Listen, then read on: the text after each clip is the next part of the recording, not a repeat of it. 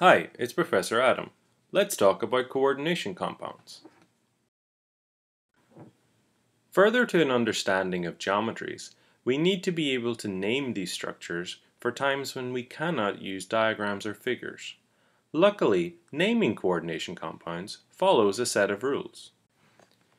The first rule we will use is to always place the cation before the anion in the name, so it is always cation anion and never anion cation. The second rule concerns how we name complex ions. If a cation or an anion contains more than one atom, we enclose them in square brackets. Building on the first two rules, the next rule concerns the order of the components. For the name, we list the ligands before the metal with any prefixes ignored when considering the alphabetical order.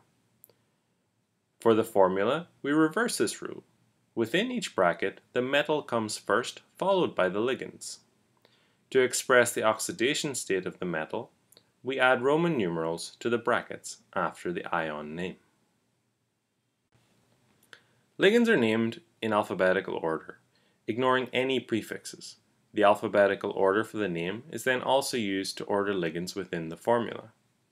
If the name already includes a Greek prefix, is polydentate, or starts with a vowel, we cannot use the usual Greek prefixes and need to use a different prefix, such as those listed in the third column of this table. So in our example here, we have three water ligands called aqua and three ammonia ligands called ammine. We use this same order for the formula. When naming complexes, we use the prefixes in the third column for polydentate ligands, and so we get dibromo bisethylene diamine iron 3 chloride. The bromide ligand becomes bromo because it is anionic, and the complex ligand ethylene diamine is placed in brackets because it already includes the di prefix, which also means we use bis rather than di. Coordination complexes can also have cis and trans isomerism and which can be expressed in the compound's name.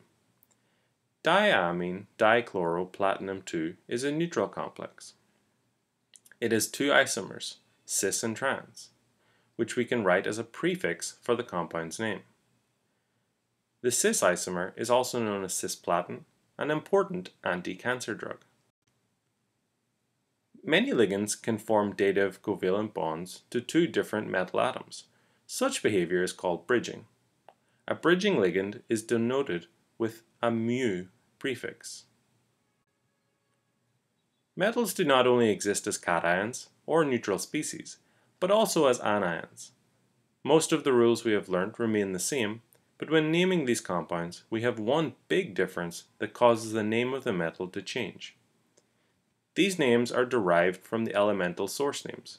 For example, when we have iron in an anion, we call it ferrate.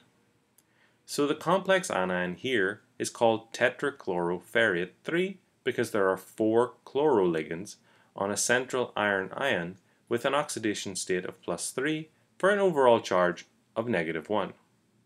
The negative charge makes it an anion, and thus we need to use the element derived names. So, to recap, name cations before anions. Ligands are named in alphabetical order with their names changing based on their charge. If we have multiple of the same ligand, we need to indicate that with prefixes. Oxidation states of metals are written as Roman numerals, and we label isomerism with the usual prefixes and denote bridging ligands with mu.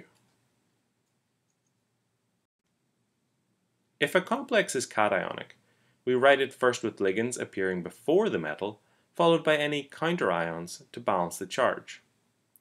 If the complex is neutral, we follow the same rules, but this time we don't need a counterion.